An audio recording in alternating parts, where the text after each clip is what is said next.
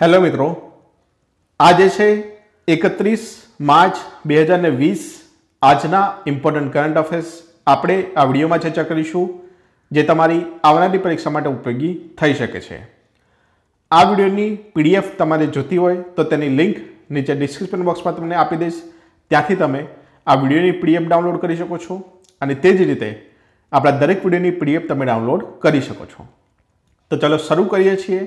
આજના important current affairs તો સૌપ્રથમ પહેલો ટોપિક છે કે પીએમઓએ ઉચ્ચ સ્તરની પેનલની રચના કરી છે. આ તમને સીએસપી ટુ ઘમાં કામ લાગી શકે છે. અહીંયા આના અધ્યક્ષ કોણ છે તે તમને આવનારી પરીક્ષા માટે પ્રશ્ન પૂછાઈ શકે છે. તો અહીંયા વાત કરીએ કે હાલ ચર્ચામાં કેમ છે? તો અત્યારે તમને ખ્યાલ હશે કે હાલ એકવીસ દિવસનું લોકડાઉન ભારતમાં ચાલી રહ્યું છે. તો પીએમઓ પ્રાઇમ મિનિસ્ટર ઓફિસ એટલે કે પ્રધાનમંત્રી કાર્યાલયે લોકડાઉન પછી જે સામાન્યતાના જે છે, સામાન્ય પરિસ્થિતિને પુનઃસ્થાપિત કરવા માટે ઉચ્ચ સ્તરની એક પેનલની રચના કરી છે. આ જે ઉચ્ચ સ્તરની કમિટી છે, તે આરોગ્ય સંભાળમાં સુધારો લાવશે. તેના માટે છે, અને બીજું કે અર્થવ્યવસ્થાને પાટા પર કેવી રીતે લાવી તેના માટેના સૂચનો માટે આ પેનલની રચના કરવામાં આવી છે. અહીંયા હવે વાત કરીએ કે આ સમિતિનું નેતૃત્વ કોણ કરશે? એટલે કે અધ્યક્ષ કોણ હશે? તો આપણા વડાપ્રધાનના જે મુખ્ય સચિવ છે પી કે મિશ્રાજી. તેમને અધ્યક્ષ સ્થાન હશે આમનું. આ તમને પરીક્ષામાં ડાયરેક્ટ પ્રશ્ન પૂછાઈ શકે છે કે આ જે કમિટી છે તેના અધ્યક્ષ કોણ છે? ચાર ઓપ્શન આપી દેશે. તેમાં સાચો આન્સર આવશે પી કે મિશ્રા.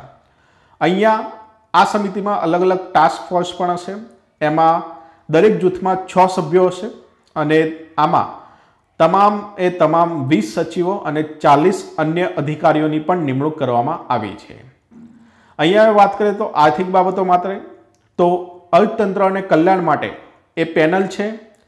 અહીંયા જે આર્થિક બાબતોના સચિવ છે, તેમના હેઠળ તે કામ કરશે આ પેનલ.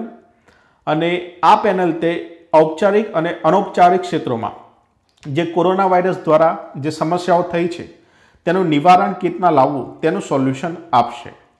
અને આ જે પેનલ છે તે ગરીબ લોકો માટે વિશેષ કલ્યાણકારી યોજનાનું પણ સૂચન આપશે. બીજી છે સ્વાસ્થ્ય માટેની. તો સ્વાસ્થ્ય માટેની જે પેનલ છે તેમાં નીતિ આયોગના સભ્ય વી કે પોલના નેતૃત્વ હેઠળ આ જૂથ બનાવવામાં આવ્યું છે સ્વાસ્થ્ય માટેનું. આ જે છે તે તબીબી ઉપકરણો, દવાઓના પુરવઠો સતત જળવાઈ રહે તે અને હોસ્પિટલની ઉપલબ્ધતા તેને સુનિશ્ચિત કરવા માટે પગલાં સૂચવશે આ પેનલ. તો આ છે બે પેનલો વિશેની માહિતી અને આખી ઉચ્ચ કમિટી વિશેની સંપૂર્ણ માહિતી. નેક્સ્ટ ટોપિક છે ડીઆરડીઓ અને કોવિડ ઓગણીસ વિશેનો. તો ડીઆરડીઓએ શું શું વિકસિત કર્યું છે, શું શું ડેવલપ કર્યું છે તેની વાત કરીએ. આ તમને સીએસપી ટુ ઘમાં સાયન્સ એન્ડ ટેકમાં પ્રશ્ન પૂછાઈ શકે છે અને ડીઆરડીઓ જે છે તેના વિશે પણ તમને પ્રશ્ન પૂછાઈ શકે છે. તો એ વાત કરીએ ચર્ચામાં કેમ છે? તો ડીઆરડીઓ એટલે કે defence research and development organisation તેના દ્વારા જે કોવિડ ઓગણીસ એટલે કે કોરોના વાયરસના પ્રકાશનનો અવરોધ માટે ચાર વસ્તુઓનો વિકાસ કરવામાં આવેલો છે. એમાં કઈ કઈ ચાર વસ્તુ છે? તો પહેલી છે ડીઆરડીઓ દ્વારા હેન્ડ સેનિટાઇઝર્સ, બીજી છે વેન્ટિલેટર, ત્રીજી છે એન નાઇન્ટી નાઇન માસ્ક, જે માસ્ક આવે છે તે, અને ચોથી છે બોડી સૂટ. આ ચાર વસ્તુ બનાવવામાં આવી છે. તમને પ્રશ્ન અહીંયા આ રીતે પણ પૂછાઈ શકે છે કે હાલમાં કોના દ્વારા hand sanitisation, ventilator N ninety nine mask અને બોડી સૂટ બનાવવામાં આવેલું છે. તો ડીઆરડીઓ આવશે તેમાં. એક પછી એક તેના વિશે માહિતી મેળવીએ તો હેન્ડ સેનિટાઇઝર આ તમને દેખાય છે તે છે હેન્ડ સેનિટાઇઝર આ જે છે તે ડીઆરડીઓ દ્વારા ડેવલપ કરાવ્યું છે. અહીંયા ભારતના શસ્ત્ર બળો છે, પછી સલામતી અને મેડિકલ કોરના લગભગ ચાર હજાર લીટર હેન્ડ સેનિટાઇઝરની તૈયારી કરી રહી છે. આ જે ડીઆરડીઓ છે, તેની સંરક્ષણ મંત્રાલય માટે પંદરસો લીટર અને જે સંસદ છે, તેના માટે ત્રણસો લીટર હેન્ડ સેનિટાઇઝરની તૈયારી કરી રહ્યું છે ડીઆરડીઓ. અને જે ડીઆરડીઓ છે તે દરરોજના વીસ હજારથી ત્રીસ હજાર લીટર આનું નિર્માણ કરે છે અને આનો ભાવ તે એકસો વીસ રૂપિયા પ્રતિ લીટરથી પણ ઓછી કિંમતનો છે. તો આ છે હેન્ડ સેનિટાઇઝર. બીજું છે એન નાઇન્ટી નાઇન માસ્ક. માસ્કમાં અલગ અલગ કેટેગરીના આવે છે. તેમાં એન નાઇન્ટી નાઇન માસ્ક બનાવ્યું છે ડીઆરડીઓએ તે ટોટલ પાંચ લેયરવાળું હોય છે. માસ્કમાં અલગ અલગ લેયર હોય તો આ પાંચ લેયરવાળું છે. તેમાં જે બે લેયર છે તે નેનો જેલથી બનેલા હોય છે. અને આ ડીઆરડીઓની દૈનિક દસ હજાર જેટલા માસ્ક નિર્ધારિત કરે છે. તેટલા બનાવે છે. અને આની કિંમત સિત્તેર રૂપિયા એક નંગની રાખવામાં આવેલી છે. ત્યાર પછી છે વેન્ટિલેટર. ડીઆરડીઓના અંતર્ગત society for biomedical technology programme તેને હાલની જે આવશ્યકતાઓ છે તેને પૂર્ણ કરવા માટે સંશોધન કર્યું છે અને આના હેઠળ જ વેન્ટિલેટર બનાવવાની કાર્યવાહી પણ કરવામાં આવી છે. આ જે મહિનામાં પાંચ હજાર જેટલા વેન્ટિલેટર ઉત્પાદન કરશે અને ધીરે ધીરે તેની કેપેસિટી વધારીને ત્યાર પછી દસ હજાર જેટલા ઉત્પાદન કરશે વેન્ટિલેટર. નેક્સ્ટ છે બોડી સૂટ તો ડીઆરડીઓ દ્વારા પ્રથમ રેડિયોલોજીકલ સ્થિતિ માટે મેડિકલ અને જે પેરામેડિકલ સ્ટાફ છે, તેના માટે આ બોડી સૂટ વિકસિત કર્યા. તે હવે શું કરે છે તો ફૂલ બોડી શૂટમાં તે બદલાઈ ગયા છે. તે શું કરશે તો ચેપને અવરોધવામાં મદદરૂપ થશે. તો આ ચાર ચાર વસ્તુઓ ડીઆરડીઓ દ્વારા ડેવલપ કરવામાં આવી છે. હવે ડીઆરડીઓની વાત કરીએ તો defence research and development organisation, તેનું full form class three class ફોરમાં પૂછાય છે. તેની સ્થાપના અઠ્ઠાવનમાં થઈ હતી અને તેનું મુખ્ય મથક જે નવી દિલ્હી છે, ત્યાં આવેલું છે. આ એક ભારત સરકારની એજન્સી છે અને આનું નિયંત્રણ એક કેન્દ્રીય સંરક્ષણ મંત્રાલય સાથે જોડેલું હોય છે. આ શું કરે છે? તો ડીઆરડીઓ એ લશ્કરી સંશોધન અને વિકાસના સંપાદિત કાર્યો કરે છે અને આનું આદર્શ વાક્ય છે, વલસ્ય મૂળ વિજ્ઞાન આનું આદર્શ વાક્ય છે. અત્યારે હાલમાં ત્રીસ હજારથી પણ વધુ કર્મચારી એ ડીઆરડીઓ સાથે જોડાયેલા છે, કામ કરે છે. અને હાલમાં ચેરમેન છે ડૉક્ટર જી સતીશ રેડ્ડીજી. તે હાલમાં ચેરમેન છે અને આની હાલમાં બાવન પ્રયોગશાળાનું નેટવર્ક ફેલાયેલું છે. નેક્સ્ટ ટોપિક છે CO N TEC contec, COVID ઓગણીસ નેશનલ ટેલિકન્સલ્ટેશન સેન્ટર. આજે કોન્ટેક સીઓ એન ટીઈસી છે, તેનું ફૂલ ફોર્મ છે કોવિડ ઓગણીસ. એનું છે સીઓ એન એટલે કે નેશનલ ટેલિકન્સલ્ટેશન સેન્ટર, એનું છે ટીઈસી આ રીતે તેનું ફૂલ ફોર્મ છે. આ તમને પૂછાઈ શકે છે, પહેલી વાત. આ તમને સીએસપી ટુ ઘમાં કામ લાગી શકે છે. તો અહીંયા આરોગ્ય અને કુટુંબ કલ્યાણ મંત્રાલય, તેના દ્વારા આ contact CO N TEC launch કર્યું છે. તમને પરીક્ષામાં ડાયરેક્ટ પૂછશે કે આ કોન્ટેક્ટ કોને લોન્ચ કર્યું છે. તો આરોગ્ય અને કુટુંબ કલ્યાણ મંત્રાલય દ્વારા લોન્ચ કર્યું છે. આ શું કરશે? તો દેશમાં ડૉક્ટરો જે છે તેમને એઇમ્સ એટલે કે all India institute of medical science સાથે જોડવાનો પ્રયાસ કરશે. અહીંયા આ પ્લેટફોર્મ દ્વારા, કોન્ટેક્ટ દ્વારા, ટ્વેન્ટી ફોર સેવન જે કોવિડ ઓગણીસ રોગોના પ્રશ્નો છે તેનો જવાબ આપવા માટે અને સહાય કરવા માટે ડૉક્ટરો ઉપલબ્ધ રહેશે. અને દૂરસંચાર કેન્દ્ર પણ છે આ એક. અને આ પહેલ જે છે એ ધીમે ધીમે વધારાશે અને વિશ્વમાં બધા ડૉક્ટરોને અહીંયા જોઈન કરવામાં આવશે. તો આ છે તેના વિશેની સંપૂર્ણ માહિતી. નેક્સ્ટ ભારત કોવિડ ઓગણીસના ડબ્લ્યુએચઓના પરીક્ષણોમાં ભાગ લેશે. તો આઈસીએમઆર એટલે કે Indian council of medical research, એ નવી જાહેરાત કરી છે કે વર્લ્ડ હેલ્થ ઓર્ગેનાઇઝેશનના પરીક્ષાઓમાં ભાગ લેશે. ભારત અને આ પરીક્ષણ જે છે, તેના દ્વારા કોવિડ ઓગણીસનો પ્રકોપની પ્રસૂતિની ઓળખની સલાહ આપવામાં પણ આવી છે. અહીંયા હવે સુધી ભારત કોવિડ ઓગણીસની સંયુક્ત કેસોની સંખ્યા ઘણી ઓછી હતી. પરંતુ હમણાં એક હજારની ઉપર સંખ્યા વધી ગઈ છે અને ડબ્લ્યુએચઓના ચાર મેગા ટ્રાયલ શરૂ થઈ ગયા છે અને આ પરીક્ષામાં હાઇડ્રોક્સી ક્લોરોક્વિન જેવી દવાનો પણ ઉપયોગ સમાવેશ કરેલો છે. અને ભારત આજે ડબ્લ્યુએચઓની તપાસમાં પણ ભાગ લેશે અને ડબ્લ્યુએચઈ સંસ્થા દ્વારા પચાસ જેટલા પરીક્ષણ ચાલુ છે હાલમાં. નેક્સ્ટ ટોપિક છે એફડીએ ગંભીર રીતે બીમાર કોવિડ ઓગણીસ રોગો માટે શું કર્યું છે તેનો ટોપિક છે. આ તમને સીએસપી ટુ ગમાં કામ લાગી શકે છે સાયન્સ એન્ડ ટેકમાં તો યુએસએની ફૂડ અને દવા એડમિનિસ્ટ્રેશનની ગંભીર બીમાર કોવિડ ઓગણીસ જે રોગ છે, તેના રોગીઓ માટે કોવિડ ઓગણીસમાંથી સંગઠિત પેશન્ટમાં એકત્રિત કરેલ કમલ સેન્ટ પ્લાઝમાના ઉપયોગની મંજૂરી આપી દીધી છે. હવે આ જે પ્લાઝમા છે તે શું છે? તે તમારા માટે જાણવું જરૂરી છે સાયન્સ એન્ડ ટેક માટે. તો પ્લાઝમા શું છે? તો પ્લાઝમા એ લોહીનો જ એક મુખ્ય ભાગ છે. લોહીમાં ઘણી બધી વસ્તુઓ આવેલી હોય છે, જેમ કે આરબીસી, ડબલ્યુબીસી, પ્લેટલેટ સિવાય ઘણી બધી પ્રવાહી સામગ્રી આવેલી હોય છે. તો જે આરબીસી, ડબલ્યુબીસી અને પ્લેટલેટ તેના સિવાયની તમામ જે પ્રવાહી છે, તે સામગ્રીને પ્લાઝમા કહેવામાં આવે છે.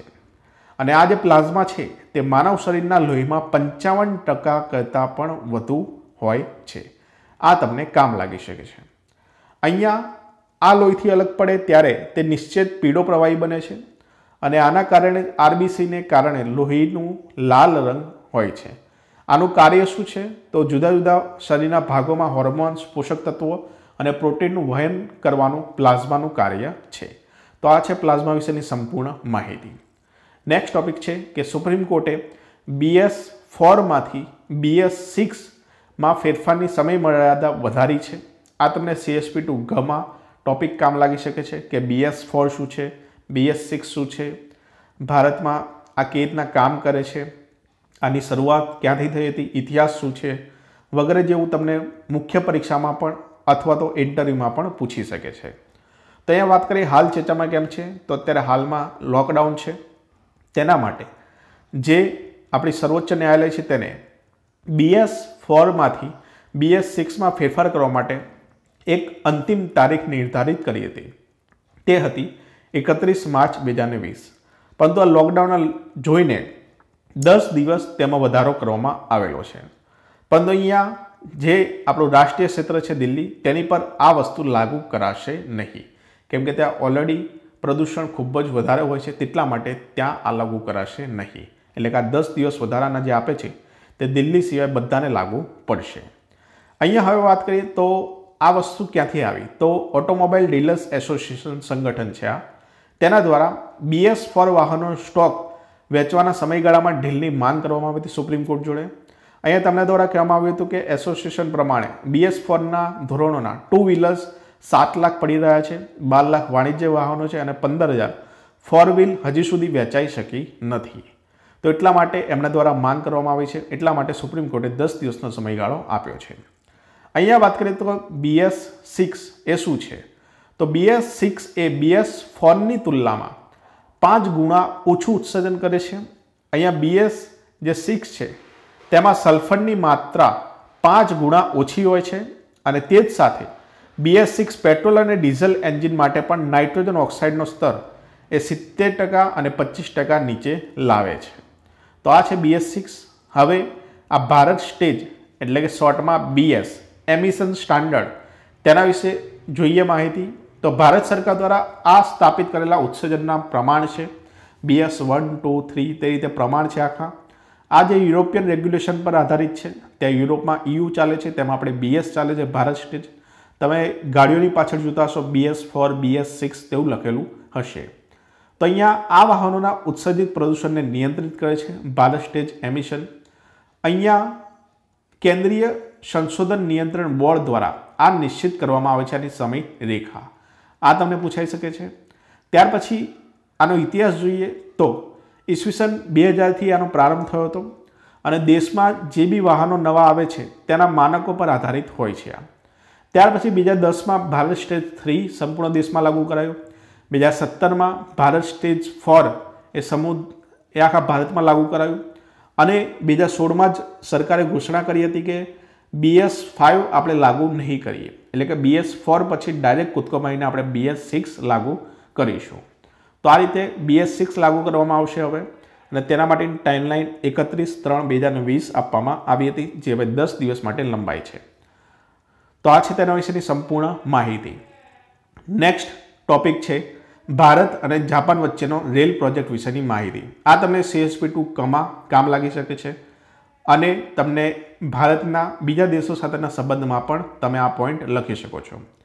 તો અહીંયા ચર્ચામાં કેમ છે? તો ભારત સરકાર જે છે તે અને જાપાન સરકાર જે છે તેની ફાઇનાન્શિયલ પોષણ એજન્સી છે જે આઈસીએ એ ત્રણ મેગા રેલ યોજનાઓ માટે ભારત સાથે ઓગણીસ હજાર બસો પંચાણું કરોડ રૂપિયાની યોજના પર હસ્તાક્ષર કર્યા છે. અહીંયા અલગ અલગ પ્રોજેક્ટ માટે અલગ અલગ પૈસા ફાળવ્યા છે. તેમાં આનું મહત્ત્વ શું છે? તો આ જે ફ્રન્ટ કોરિડોર છે, તેની રચનાથી દેશમાં જે માલ ટ્રાન્સપોર્ટની માંગ છે, તે પૂર્ણ કરાશે. અહીંયા દિલ્હી, મુંબઈ જે ઔદ્યોગિક ગલિયારો છે, તેના વિકાસ માટે આ યોજના ખૂબ જ ઉપયોગી છે. આ જે ત્રણે ત્રણ પ્રોજેક્ટ છે, તેમાં મુંબઈ એ સેન્ટ્રલમાં આવે છે. અને મુંબઈમાં ઝડપથી વસ્તી વૃદ્ધિ થઈ રહી છે. એટલે કે, અને બીજી બાજુ, શહેરમાં પ્રદૂષણનું સ્તર પણ વધી રહ્યું છે, તો આ રેલ પ્રોજેક્ટથી તે પણ ઓછું થશે અને જે બધાની ડિમાન્ડ આવે છે તે પણ પૂરી થશે. તો આ છે તેનું મહત્ત્વ નેક્સ્ટ ટોપિક છે, એશિયન ડેવલપમેન્ટ બેન્કે એન ડબલ આઈ એફ, એટલે કે national investment and infrastructure fund તેમાં સો મિલિયન ડોલરનું રોકાણ કરશે. આ તમને સીએસપી ટૂંકામાં ઇકોનોમીમાં કામ લાગી શકે છે. એડીબી શું છે, તેની સ્થાપના ક્યારે થઈ હતી, તેનું મુખ્ય મથક ક્યાં આવેલું છે તે તેના વિશે તમને ઉપયોગી થઈ શકે છે. અને એન ડબલ આઈ એફ વિશે પણ તમને ઉપયોગી થઈ શકે છે. તો અહીંયા વાત કરીએ, અત્યારે હાલ જે છે, આર્થિક મંદીમાંથી ભારત પસાર થયેલો હતો અને તેની અર્થવ્યવસ્થાને મજબૂત કરવા માટે આ નિર્ણય લેવામાં આવ્યો છે. અહીંયા વાત કરીએ એન ડબલ આઈ એફ. તેના વિશે તો national investment and infrastructure fund તેનું ફૂલ ફોર્મ છે. આ જે છે તે ઇન્ફ્રાસ્ટ્રક્ચર ક્ષેત્રે રોકાણને પ્રોત્સાહિત કરવા ઉદ્દેશથી ડિસેમ્બર બે હજાર પંદરમાં તેની સ્થાપના કરવામાં આવી હતી. આ જે દેશમાં માળખાગત સુવિધાઓને પ્રોત્સાહિત કરવા માટે ભંડોળ જરૂર હતી અને દેશમાં આર્થિક વિકાસને પણ વેગ આપે છે. ભારતમાં જે જોખમો છે, તેના વળતર આપવા માટે પણ આ કામ કરે છે. અહીંયા વાત કરીએ એન ડબલ આઈ એફ તેમાં ચાલીસ હજાર કરોડ એકત્રિત કરવામાં આવ્યું છે, આનું લક્ષ્ય આગામી વર્ષોમાં. અને આ કેટેગરી ટુ તેમાં સમાવેશ થાય છે, જે સિક્યુરિટી એન્ડ એક્સચેન્જ બોર્ડ કેટેગરીમાં. અહીંયા સો ટકા ભંડોળમાંથી ફોર્ટી નાઇન પર્સન્ટ ભંડોળ તે કેન્દ્ર સરકાર દ્વારા પૂરું પાડવામાં આવ્યું છે. જ્યારે બાકીનું એકાવન ટકા તે સ્થાનિક અને વૈશ્વિક રોકાણકારો પાસેથી મેળવવામાં આવ્યું છે. તેમાં આપણે જોયું એડીબીએ સો સો મિલિયન આપ્યા. અહીંયા વાત કરીએ તો એન ડબલ આઈ એફ એની ગવર્નિંગ કાઉન્સિલની અધ્યક્ષતા કોણ કરે છે? તો નાણાપ્રધાન કરે છે. હવે વાત કરીએ આપણે એશિયન ડેવલપમેન્ટ બેંક વિશેની. તો એડીબી એટલે કે એશિયન ડેવલપમેન્ટ બેંક તે પ્રાદેશિક વિકાસ બેંક છે, જેનો હેતુ એશિયામાં સામાજિક અને આર્થિક વિકાસને પ્રોત્સાહિત આપવા માટે છે. અહીંયા વસ્તુ એક જોજો કે એશિયા માટે છે. નહીં કે વિશ્વ માટે, ઓકે? એ વસ્તુ ધ્યાન રાખજો. ત્યાર પછી વાત કરીએ આની સ્થાપના, તો ડિસેમ્બર ઓગણીસો છાસઠમાં કરવામાં આવી હતી અને તેનું મુખ્ય મથક ફિલિપાઇન્સના જે કેપિટલ છે મનીલા, ત્યાં આવેલું છે. આમાં હાલમાં અડસઠ સભ્યો છે, તેમાં એશિયા પેસિફિક રિજિયનના અડતાળીસ અને બાકીના અન્ય પ્રદેશોના ઓગણીસ સભ્યો છે. અને એડીબીનો મુખ્ય ઉદ્દેશ શું છે? તો સામાજિક અને આર્થિક વિકાસને પ્રોત્સાહિત આપવા માટે લોન ટેકનિકલ સહાય, અનુદાન અને ઇક્વિટી રોકાણને પણ પ્રદાન કરે છે. તો આ છે એડીબી વિશેની સંપૂર્ણ માહિતી. નેક્સ્ટ ટોપિક છે ભારત અને સાઉદી અરેબિયા વિશેનો.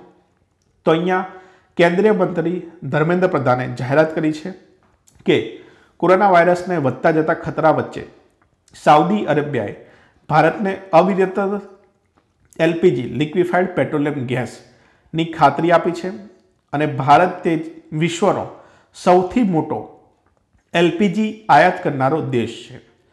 ભારત તે Qatar, Saudi Arabia, Oman, Kuwait અને મધ્ય પૂર્વના દેશો ત્યાંથી એલપીજી આયાત કરે છે.